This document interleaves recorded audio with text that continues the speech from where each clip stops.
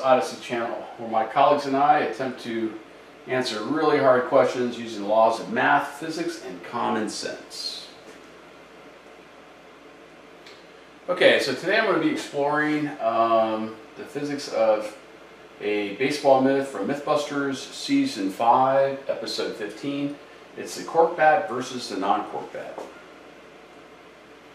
Okay, really cool relevant physics here. Um, collisions, elastic versus inelastic collisions, coefficient of restitution, momentum, conservation of momentum, conservation of energy, and using the coefficient of restitution to compute after collision velocities given before collision velocities with and without energy losses.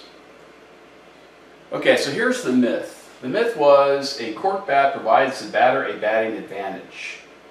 So cork bats aren't allowed in professional baseball.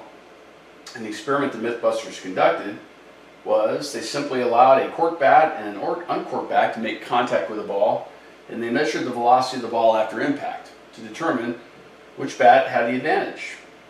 Okay, so I'm going to do a lot of physical analysis on here, um, including some mathematical models I developed. And then we're going to talk about another issue which they didn't consider. Okay, for now I'm going to let you watch uh, key parts of the episode, and then we'll come back and discuss the physics. Now that we've seen a number of hits with a regulation bat, what the high-speed camera is telling us is that the ball is consistently leaving the cannon at 80 miles an hour, which happens to be about the speed of the Roger Clemens pitch. It's also leaving the bat once it gets hit at 80 miles an hour. The next thing we need to do is test how fast it leaves the bat when the bat is corked. If it leaves faster, That'll answer our question. Three. That was a hit. That was a hit. The ball is over here. And the bat is still there. So, with See any what- luck, that's data. The ball is coming into the bat at about 80 miles an hour, but it is leaving that bat at half that speed at about 40 miles an hour. Our earlier data points with the normal uncorked bat had the ball leaving the bat pretty much exactly the speed it was going towards the bat at. In these, and both of our good data sets on the cork bat, it's leaving at half the speed. Loading your lumber with lightweight cork poses two problems. The bat might be lighter and easier to swing, but reduced weight means less energy delivered to the ball. Also, instead of adding extra spring, the cork actually absorbs some of the impact. Those two factors add up to blunted batting ability. Well, you know, one way or another, it looks like the guys that got caught using a cork bat got themselves suspended for nothing. Yeah, you know, while our sample size might have been small, our results were totally unambiguous. Every time a ball came off the cork bat, it was coming off at half the speed that it was off of a normal bat. Yeah, far from acting like a spring, it was a lot more like a sponge. I gotta say, this one is totally busted. Totally. It's busted. Okay, so you saw key parts of the episode. So, Mythbusters busted, or did they do a pretty good job? Uh, well, they showed that the uncorked bat had an advantage over the cork bat, so I think they came to the right conclusion. However, they weren't able to delineate precisely why. Um, the cork bat was lighter than the uncorked bat, so is the better performance of the uncorked bat due to the mass or due to the springiness? And that's something I'm going to evaluate.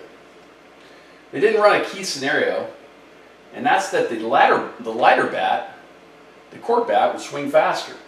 I'm going to take a look at that as well. And they also didn't consider the fact that a cork bat would probably have more control. Okay, the scenarios I'm going to look at include a heavier versus lighter bat with and without conservation of energy, I'm going to keep the springs constant, velocity constant, and change the mass. I'm going to look at cork versus uncorked bat uh, with a constant mass. I'm going to change the springiness and the velocity. A faster cork bat versus a slower uncorked bat. Um, I'm going to change both mass as well as velocity. And then I'm going to look at also this one. A faster, lighter uncorked bat versus slower uncorked bat. So this is, neither one of them are corked, but one's lighter. Will there be an advantage to just the lighter bat without the corkiness? Constant, constant, different velocities because the lighter bat will be able to impart a greater velocity to the bat.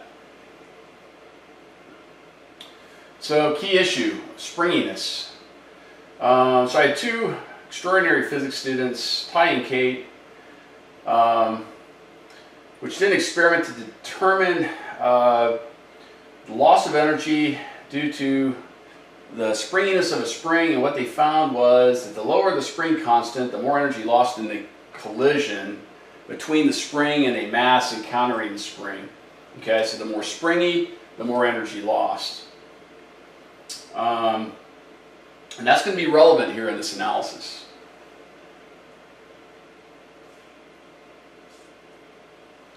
Okay, so here are the experiments the Mythbusters conducted. Uh, they had a baseball bat moving at 26.8 meters per second, 60 miles an hour in one direction. The ball coming in at the opposite direction at 35.7 meters per second. Um, before impact and after impact, the ball left at 35.7 meters per second, so the same speed. Uh, the bat I computed to move at 16 meters per second using conservation of momentum. So all these were given except this. Okay, the cork bat scenario is similar, uh, identical before contact. After contact, uh, the ball left at half the velocity.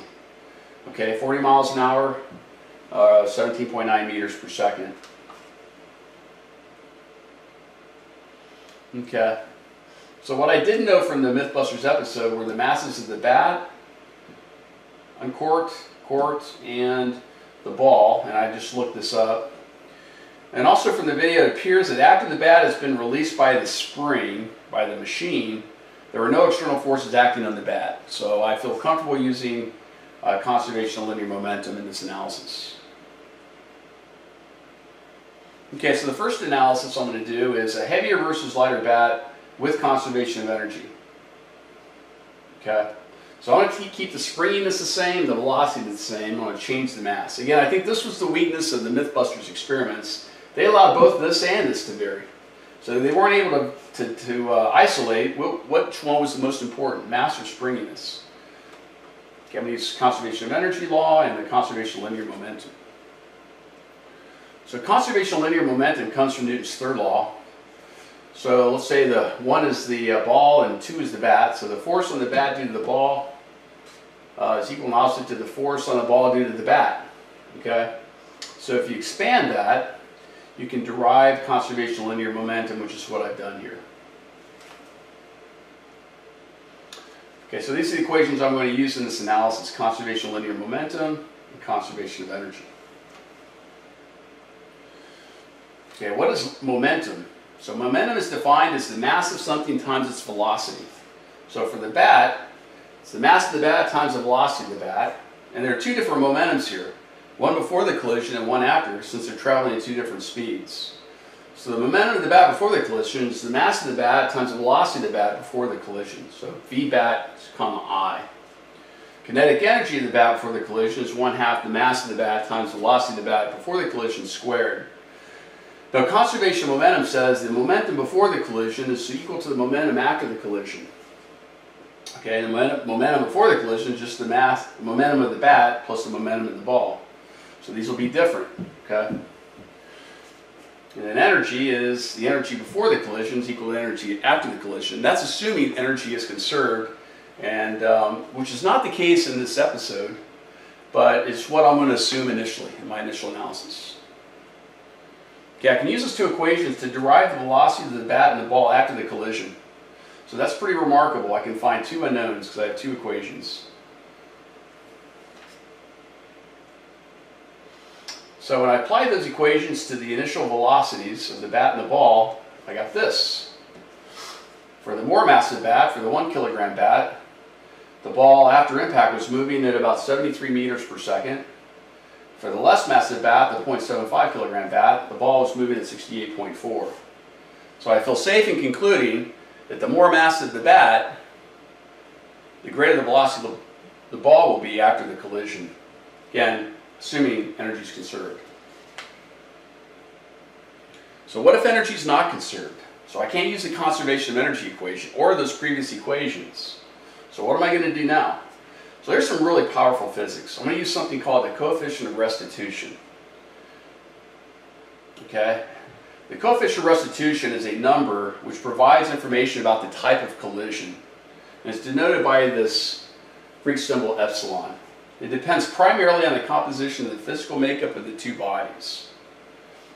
Once I've got that, and I need an experiment, an actual experiment to compute it, I can then use it to look at other types of similar collisions to approximate the velocities of each object after the collision. So I computed this statistic for the two Mythbusters experiments. The collision between the uncorked bat and the ball, and the collision between the corked bat and the ball. This is the equation for the coefficient of restitution. It's the relative velocity between the bat and the ball before the collision. I'm sorry, it's the relative velocity between the bat and the ball after the collision, divided by the relative velocity between the bat and the ball before the collision. Okay, these are vectors, so sign matters, direction matters. It's going to be either plus or minus, depending whether it's going to the right or left. This is the magnitude. So this will essentially give us positive numbers for the numerator and the denominator. You can then do a little bit of algebra on the momentum equations to derive the velocity of the ball after the collision and the velocity of the bat after the collision, as long as I know the coefficient of restitution. So this is what I'm going to apply to the scenarios that the Mythbuster didn't conduct but should have, and I'm doing it virtually. So the computations I got, coefficient of restitution for the collision between the uncorked bat and ball, 0.31. Coefficient of restitution for the collision between the corked bat and the ball, 0.029. Now the closer the coefficient of restitution is to 1, the more elastic the collision. The more elastic the collision, the less kinetic energy is lost. So clearly, based on this computation, more energy is lost in the collision between the cork bat and the ball than the uncorked bat and the ball. But these are two different masses. But I think it's safe to assume that the loss in energy is due primarily to the springiness of the bat versus the less mass of the bat. And that's an assumption I'm going to make here.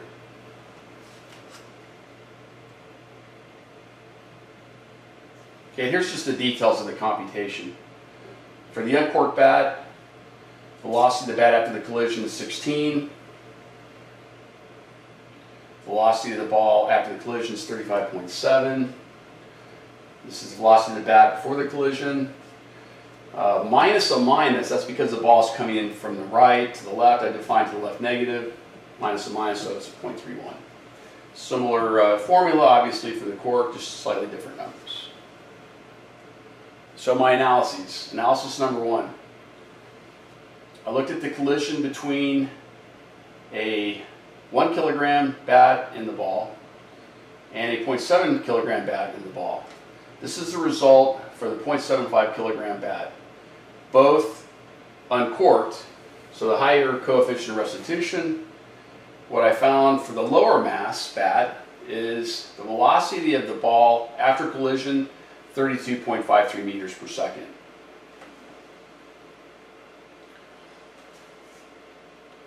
Still uncorked, coefficient of restitution 0.31, more massive bat, the speed of the ball after collision 35.5. Okay, so assuming both bats are uncorked and have this, and one has a mass of 1 kilogram, the other has a mass of 0.75 kilograms, the more massive bat will provide for greater velocity to the ball after the collision. So the scenario with energy lost is the same in terms of a conclusion as the scenario with conservation of energy. The more massive bat, for a similar spring in this bat, will provide for a greater velocity to a ball after the collision. Okay, analysis number two. Cork versus uncorked bat, but now I'm going to keep the mass constant. Change in the springiness, I'm going to keep the velocity constant. And here's what I got. Springy bat, coefficient of restitution 0.029, 1 kilogram bat, provided a final velocity to the ball of 20.22 meters per second.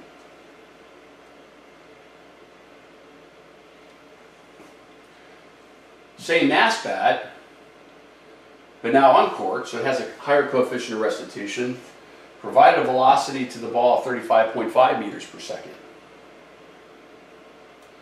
So clearly, if the bats are the same mass and one is corked and the other one isn't, the uncorked bat will perform better. So analysis number three. Okay, this is a scenario where one player comes along and picks up a cork bat of 0.75 kilograms, the other one picks up the bat, uncorked bat of one kilogram, and one's going to swing faster because for the same amount of force, a lighter bat will swing faster. So this varied and this varied. So all three varied, mass, springiness, and velocity. But I don't know the velocity of a cork bat. That information wasn't given. Mythbusters assumed a 26.8 meters per second bat regardless of its mass. And again, I know why they did that, but I'm making the assumption that a lighter bat's going to swing faster. So what do I do? Well, I'm going to use Newton's second law in this form to solve for the force. Okay, so how much force was applied to that one kilogram bat to get it to go 80 miles per hour or 26.8 meters per second? Okay, if I multiply the mass times the velocity after the force is applied, divided by the time that the um, that the machine was in contact with the bat, I'm saying 0.0007 seconds, I get a force of 38,285 newtons. Okay, so now I'm going to say that same force is applied to a lighter bat using the same equation. Okay, and I get 36 meters per second. Okay, makes sense. A lighter bat will swing faster assuming the same force is applied to it. Then what I did was I plugged that number into the equations previously presented and I was able to obtain a velocity of the ball after impact with the bat of 25.78 meters per second.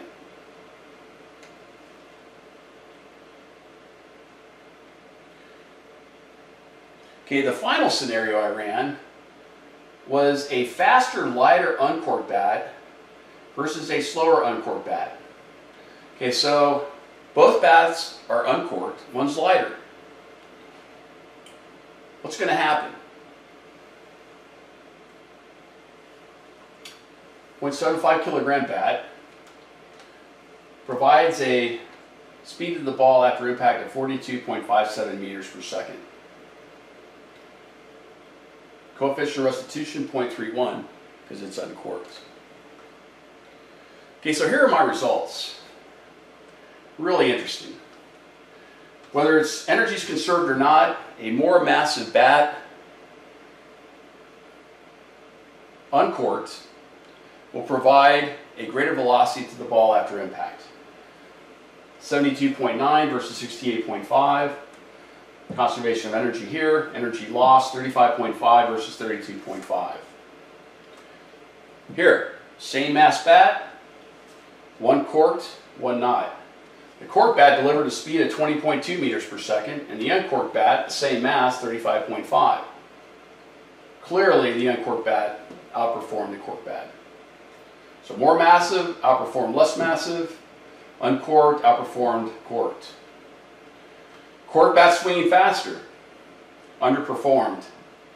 Underperformed the uncorked bat, swinging slower. 25.8 meters per second versus 35.5 meters per second. And then analysis number four is interesting. Both uncorked bats, one was lighter, and the lighter bat delivered a velocity to the ball of 42.6 meters per second. Clearly the winner.